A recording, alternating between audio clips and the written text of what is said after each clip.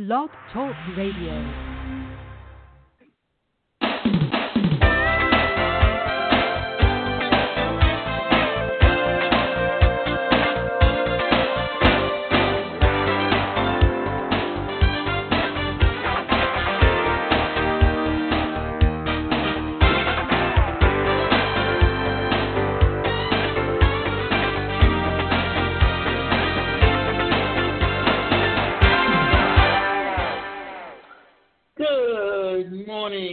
Welcome to this week's segment of Live Without Limits. Today's show is how to develop a money mindset. And one of the reasons I wanted to talk about this topic today is because when you're in business for yourself, or even if you're working for someone, you need to understand the value of money and how it relates to your time. Innovation is the specific instrument of entrepreneurship, the act that endows resources with a new capacity to create wealth or worth. Wealth, said Peter Drucker. And Peter Drucker came, comes from the around the 1950s and the 1960s, and wrote a lot of articles and, and was a very big name in psychology. A man observes evergreens growing along the roadside and thinks the trees look pretty, covered with snow. Another man sees the same trees and thinks these trees would look good in people's living rooms at Christmas. I wonder what they would pay for them. The first man has an ordinary mind. The second man has the mind of a natural born moneymaker. You can tell a natural born moneymaker because of how they think and how they talk. And they tend to be entrepreneurs. The first man has an ordinary mind, the second man has the mind of a natural born moneymaker or entrepreneur. In The Prime Movers, Edwin A. Locke provides some interesting insights into the way moneymakers think. He argues that an active, inquisitive mind is a hallmark of the successful entrepreneur. The most successful entrepreneurs in history, he says, had this sort of mind. Thomas Edison was a virtual thinking machine almost until the day he died. His mind poured forth a torrent of ideas, and he might track as many as 60 experiments at a time in his laboratory. Steve Jobs he bombarded people with his ideas, his investors, his board of directors, his customers, his subordinates, and his CEO. The one thing about Steve Jobs, if you remember how he started Apple in his garage, and it was it revolutionized history because what did it do? It put personal computers in every home.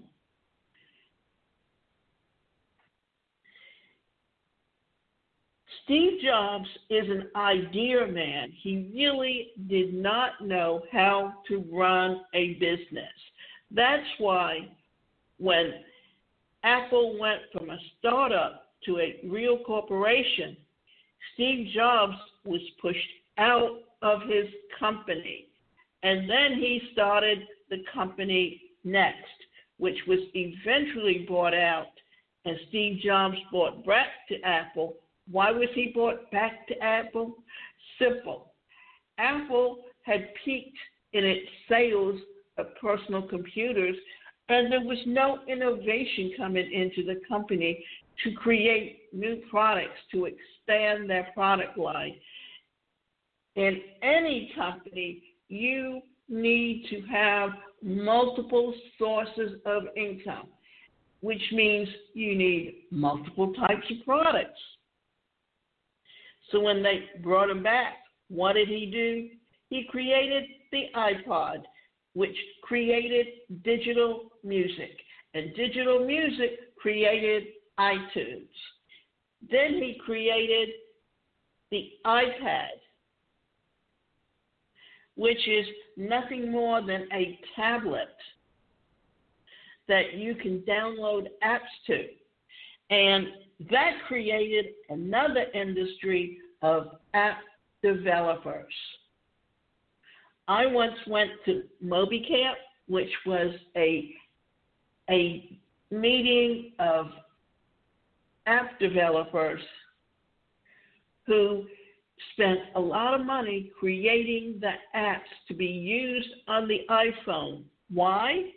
Because they knew that if people started downloading and using their apps and that Apple liked their product, they stood to make a lot of money. So, what I'm saying here is the money mindset is here's one person who, who took an idea, created it, built a, a whole industry and a new job market for many people just by his innovation and minds. And one of the things that he was working on before he passed away was to get into making televisions.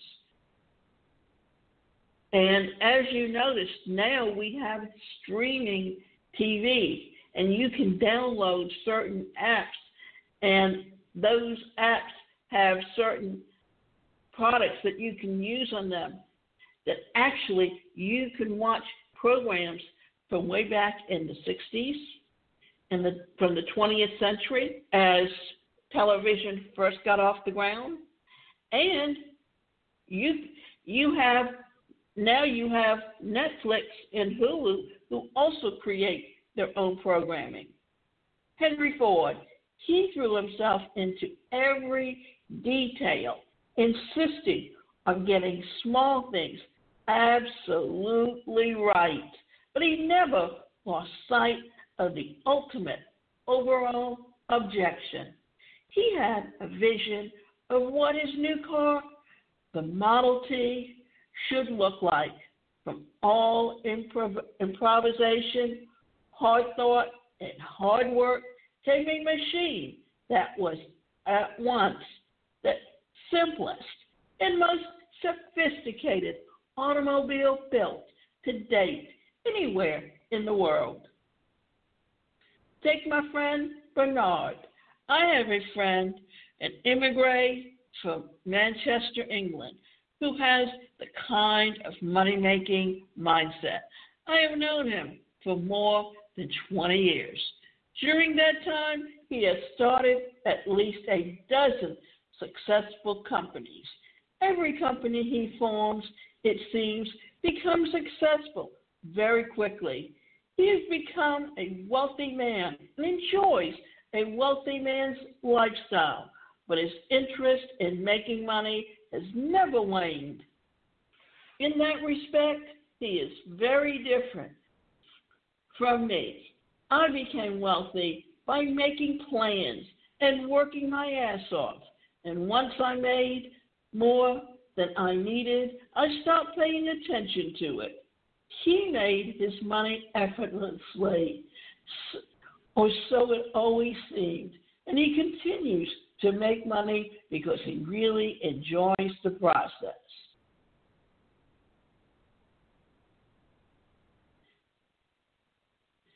So think about some of the things that you can do that can help you change your mind and your mindset so that you can gravitate towards earning an income. And here's another thing to think about any business you have today has to have an online presence. So that what's happened is is creating another industry of social media marketing and understanding search engine optimization. So it really doesn't matter what product you have to sell or what service, because today, more and more people, instead of creating a product and then selling it through a middleman to a retail store, all they do is they go online and they create a website and they offer opportunities to affiliates. And you know what? As an affiliate, you can create an income for yourself far more than you would ever work or be able to do working in a retail store as a salesman. Because here's the reason why. Because as a salesman in the store, you get a set hourly wage. And then, if you're lucky, the company may give you commission on a certain amount of sales once you reach that point. And yes, those companies have certain goals that you have to meet. Whereas online, you can create a money mindset just by creating a product where you have distributors that by word of mouth talk to their friends about it. They can bring in 10 to 20 people. You can either make money as an affiliate when your friends become affiliates, or you can just have people that come on and just buy the product because they like it. And what's happening today is we're seeing more and more people look at opportunities to purchase online. I mean, just like you have Black Friday for the retail stores for Christmas, you have Cyber Monday. And every year, Cyber Monday, more and more people are buying products online. He makes his money not just by starting successful businesses and investing in real estate, my primary vehicles, but by buying and selling exotic cars, boats, antiques, and expensive watches. Every time I see him, he is driving a new car. One month it's a Bentley, the next month it's a Ferrari. He buys slightly used cars and enjoys them and then turns them over for a profit. He has become an expert in barter and counter trade. He never pays full price for anything. He knows how to get the best price for everything, and he loves the game. And who are we talking about? We are talking about Bernard. Bernard may not have my net worth, but he's got more than enough for the rest of his life. And he seems to enjoy making money much more than I do. I admire that about him. Okay, let's say this again. I admire that about him. I like talking to him about all his recent deals. His excitement gets me excited. It also embarrasses me when I discover that he pays a fraction of what I pay for just about everything. And you know, when you are around people, you want to be around interesting people. Why? Because you want to learn something from them. And if you're around someone that doesn't know or doesn't think in terms or isn't where you are in your thinking, they can bring you down. And I know someone that whenever we talk on the phone, I say I always wonder why do I talk to this person because she rattles on about nonsense and it just it just leaves me dumbfounded because what is she worried about? What everyone else is doing in their life and who they're going with and when they're getting engaged and when they're having babies. You know, that to me, if that's where your mindset is and it's not about being creative and and being in a different place where you have where you're interesting to talk to, then you're really limiting yourself in who you are and the kind of things that you will get in life. So, what if you don't have the have this mindset?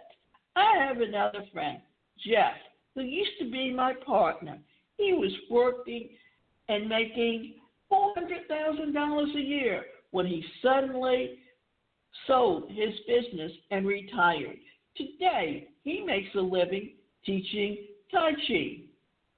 His income is modest, but he lives in a beautiful house, belongs to a private yacht club, and takes vacations every two months. Like Bernard, Jeff enjoys his life. He works when he wants to, rests when he wants to, and enjoys the best that life has to offer.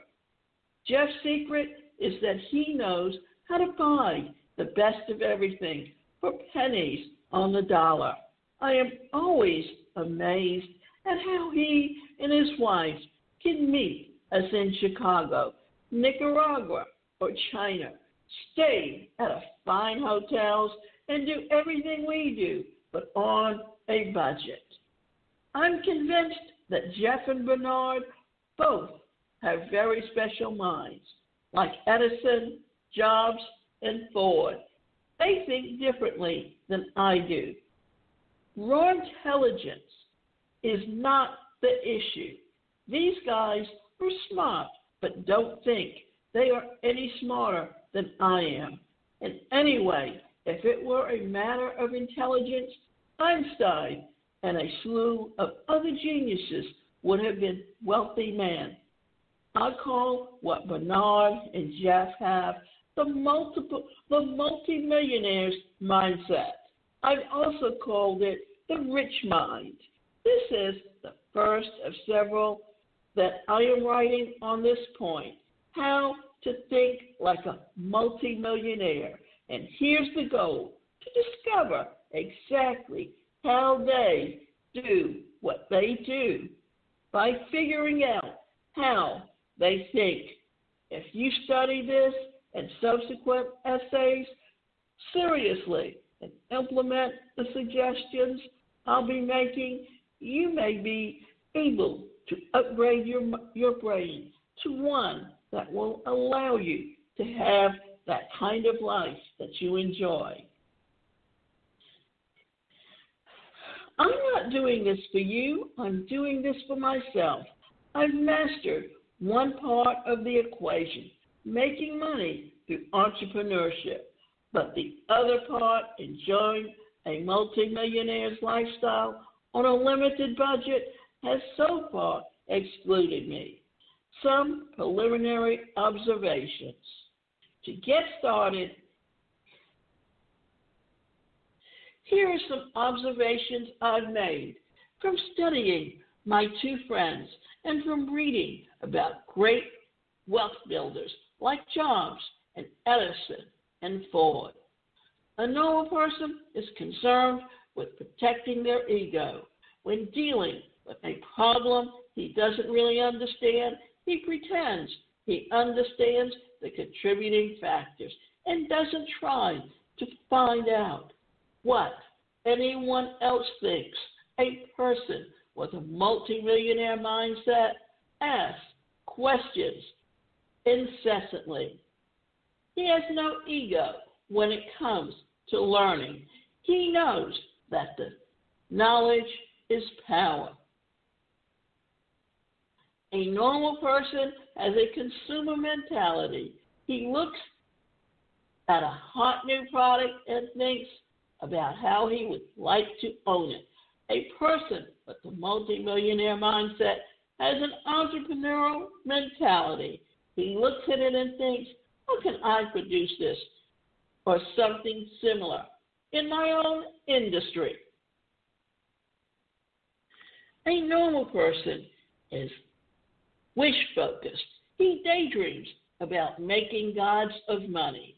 A person with a multimillionaire mindset is reality based. He's always analyzing his own success and the success of others and wondering how he can learn from it. A normal person, when confronted with a challenging idea, thinks of all the reasons why he might not work. A person with a multimillionaire mindset sees the potential in it and dis- disregards the problems until he has a clear vision of, of how it might succeed. A normal person resists change. A person with a multimillionaire mindset embraces it. A normal person accepts the status quo. A person with a multimillionaire mindset is always looking to make things easier, even good things better. A normal person reacts. A person with a multimillionaire mindset is protective.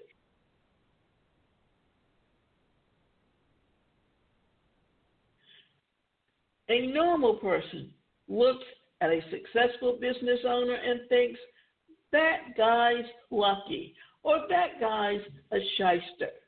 A person with a multimillionaire mindset thinks, what's his secret and how can I do that?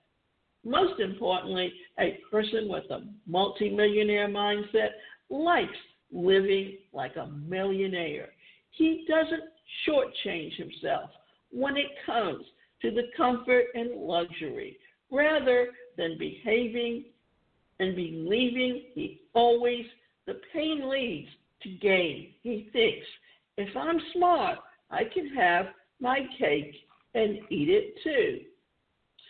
So, what we've been talking about for the last part of this is the multi millionaire mindset.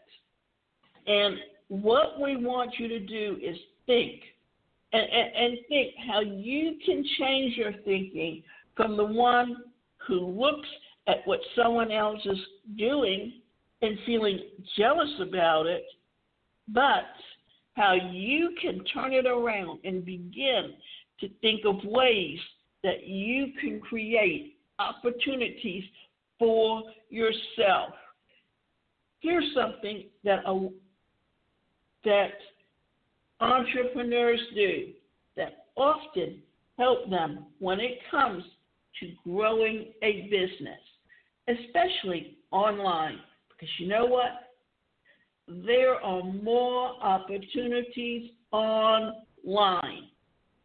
If you have a niche in a field that you work with, and there are products out there that can help you expand your business, then why not take the opportunity to create ways for you to build a business where you have the ability to earn a lot of money. And let's go back and look at and, and analyze this. Okay, a normal person is concerned with protecting his ego when di- when dealing with a problem he doesn't really understand. He pretends he understands the contributing factors and doesn't try to find out or ask any more questions.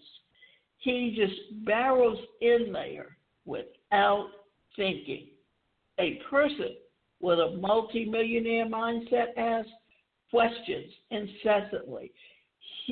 He, has no ego, and when it comes to learning, he knows that knowledge is power. So, remember, knowledge is power. Always be willing to learn. One thing I find is that, remember, everyone has a different personality. And one thing I find is if you grow up in a home where you're constantly being bombarded that the best thing you could do is get a job with a high salary and then retire in 25 years, that's belonging to the 40 40 40 club, which means you work 40 years for 40 for, for 40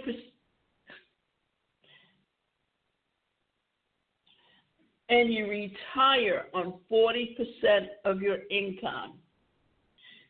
So, what's happening here is that when you look at it, the mentality back in the, the, the mid 20th century to the 20s, the 30s, the 40s, and the 50s, it was during that time that corporations were beginning to grow and, and if you went into management and you retired after 25 years, you expected to live comfortably on those 401ks, that Social Security check that you paid into over the years.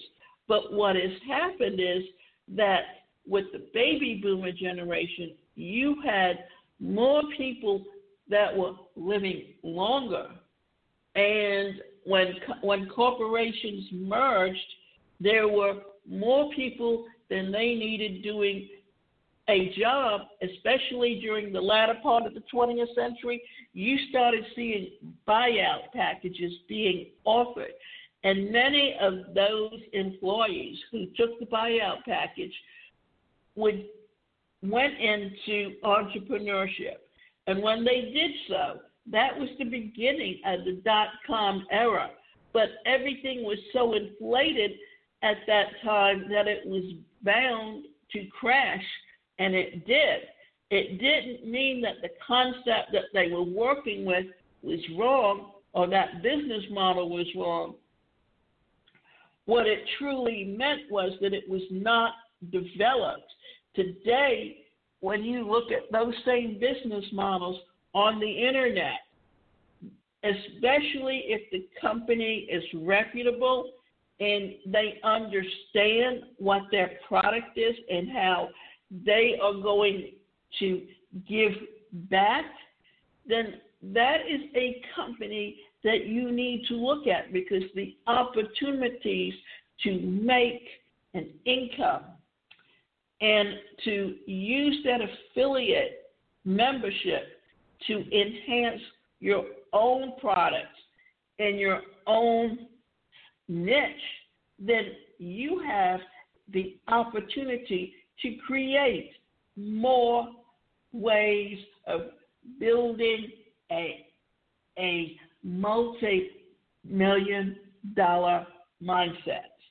And remember, you can go to my website, and that website is the number one personal careercoach.com. And you can sign up for both individual or group coaching, and we can work with you to set a plan in action and work it to take your business to the next level.